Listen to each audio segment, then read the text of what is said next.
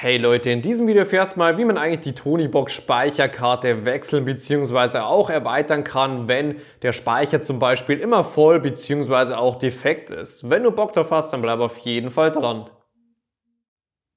Die Garantie meiner Tonybox ist bereits abgelaufen, weswegen ich diese auch mal mit gutem Gewissen öffnen kann. Und hierfür sollten wir die am besten einfach mal auf einen Boden bzw. wie bei mir auf den Schreibtisch stellen und dann mit etwas Druck nach unten circa eine Viertelumdrehung gegen den Uhrzeigersinn drehen. Anhand des Klickens hört man dann auch schon, dass sich das Ganze geöffnet hat und der Verschluss sollte auch schon von alleine hier unten abgehen.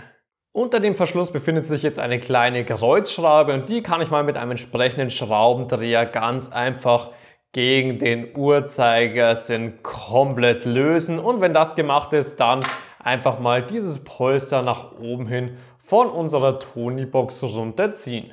Im nächsten Schritt müssen wir mal unseren Akku mit der gesamten Halterung entfernen und hierfür befinden sich hier oben drüber wieder zwei kleine Schrauben, welche ich ebenfalls mal komplett gegen den Uhrzeigersinn lösen und danach natürlich auch dementsprechend entfernen kann.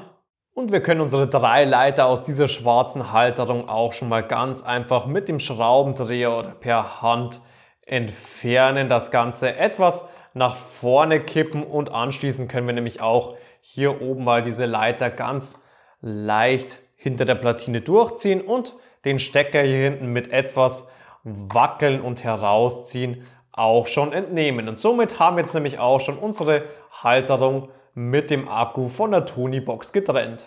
Wenn wir das haben, würde ich sicherheitshalber mal noch Gummihandschuhe anziehen, dass wir nicht aus Versehen Fett von unseren Fingern auf die Platine drauf bekommen. Das möchten wir natürlich nicht. Und dann geht es einfach darum, dass die Platine mal gerade nach oben hin abgezogen wird. Bitte auf keinen Fall nach vorne kippen, da sich hier unten jetzt nämlich noch kleine Pins befinden, die wir somit auch verbiegen würden. Deswegen einfach mal nach oben hin abziehen.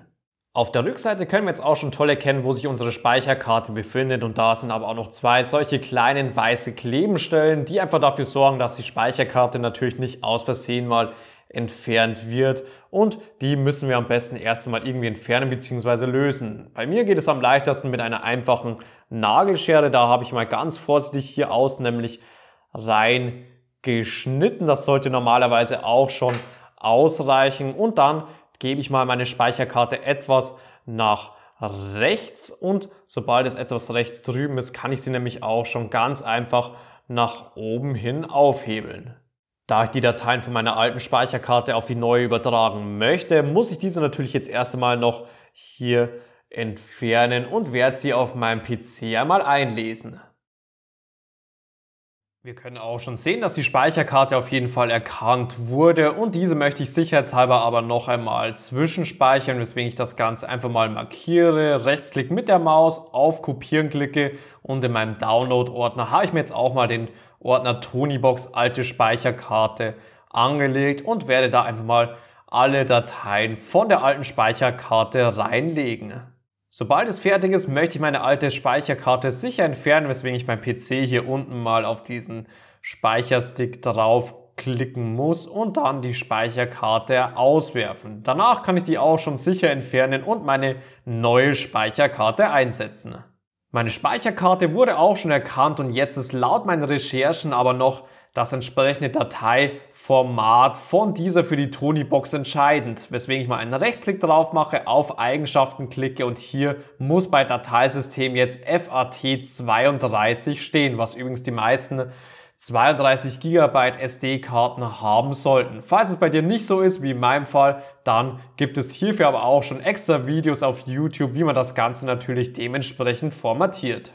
Wenn deine Speicherkarte aber passt, können wir mal auf den Ordner der alten Speicherkarte klicken und da möchten wir jetzt natürlich auch diese alten Dateien mal mit einem Rechtsklick kopieren auf unsere neue SD-Karte draufbringen. Deswegen bei dieser auch mit einem Rechtsklick und auf Einfügen klicken. Der Download ist erfolgreich abgeschlossen. Jetzt möchten wir natürlich auch diese sicher entfernen, weswegen ich wieder hier unten auf meinen USB-Stick draufklicke und die SD-Karte auswerfen möchte. Die neue Speicherkarte müssen wir jetzt richtig rum in unsere Halterung hineingeben. Bei mir sollte das auch schon passen. Danach diese nach unten drücken und etwas links rüber, denn dann sitzt sie auch schon fest. Und sicherheitshalber könntest du jetzt zum Beispiel wie in meinem Fall mit einem ganz normalen Alleskleber einmal diese zwei Punkte hier außen wirklich nur ganz leicht nachkleben, dass natürlich unsere Speicherkarte aus Versehen nicht wieder irgendwie entfernt werden kann. Meinen Kleber habe ich mal durchtrocknen lassen und jetzt schaue ich, dass ich meine Platine mal wieder richtig rum von oben in diese zwei Löcher unten reingebe. Muss natürlich darauf achten, dass meine Pins auch dementsprechend passen und anhand von diesen zwei kleinen weißen Kreuzen hier unten erkennen wir auch, dass die Platine wieder an der richtigen Stelle sitzt. Als nächstes unsere Akkuhalterung einmal von vorne wieder hineingeben. Darauf achten, dass natürlich auch hier hinten diese zwei Nasen bei den zwei Löchern unten reinpassen und dann sollten hier oben nämlich auch die zwei Bohrungen wieder übereinstimmen. Da setze ich jetzt meine Schrauben auch wieder ein, aber ich schaue wirklich nur, dass diese ganz leicht angepackt haben, dass ich meine Leiter danach hier hinten auch noch hinter der Platine ordentlich durchfädeln kann. Nun den Stecker vom Akku richtig rum in unser entsprechendes Gegenstück reingeben. Danach sollte übrigens auch schon unsere Tony-Box aufleuchten. Die Platine etwas vorkippen und dann können wir unsere Leiter vom Akku nämlich auch schon ganz einfach hier hinten einmal richtig durchfädeln und schauen natürlich auch, dass die Leiter hier unten noch in unsere schwarze Halterung drinnen sitzen. Wenn das passt, dann können wir die Platine mal wieder etwas nach hinten drücken und natürlich auch unsere zwei Schrauben hier oben handfest anziehen. Im nächsten Schritt kommt dann auch schon das Polster auf unsere Tony-Box von oben drauf. Hierbei orientiere ich mich am liebsten am Lautsprecher und an diesen kleinen Löchern hier. Und dann haben wir hier unten mal noch unsere kleine Schraube, welche ich ebenfalls wieder im Uhrzeigersinn per Hand festdrehen kann. Nun können wir auch schon unseren Verschluss richtig rum einsetzen. Hierfür bitte nur auf diese zwei Nasen hier außen achten, dass diese natürlich richtig rum sind, so wie in meinem Fall. Dann drehe ich das Ganze einfach einmal wieder um und schaue, dass ich mit Druck von oben das Ganze im Uhrzeigersinn circa eine Viertelumdrehung drehe und dann sollte nämlich der Verschluss hier unten auch schon richtig sitzen. Zum Schluss möchte ich nochmal alles auf Funktion überprüfen, weswegen ich einfach mal einen Toni drauf Stelle, lauter, leiser.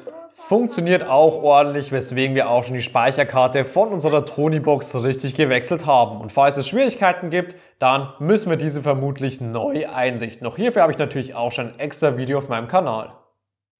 Wenn du dir für zu Hause jetzt übrigens eine Speicherkarte, eine neue Tony-Box, so eine personalisierte Schutzfolie oder natürlich auch weitere Tonys zulegen möchtest, dann am besten einfach mal unterhalb des Videos in der Videobeschreibung auf den entsprechenden Link klicken und du kommst direkt zu den Produkten auf Amazon vom Markenhersteller. Falls dir das Video gefallen und auch weitergeholfen hat, kannst du mir gerne einen Daumen nach oben geben und es einmal unter dem Video in die Kommentare reinschreiben. Außerdem kannst du meinen Kanal noch hier oben kostenlos abonnieren, um kein neues Video mehr zu verpassen.